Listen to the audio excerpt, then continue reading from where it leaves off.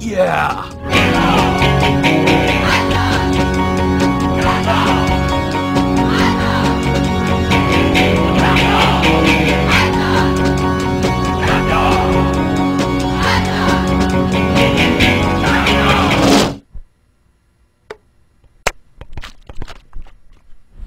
I'm sorry, but the cook neglected to add condiments to your order. You'll have to down these to beat your record.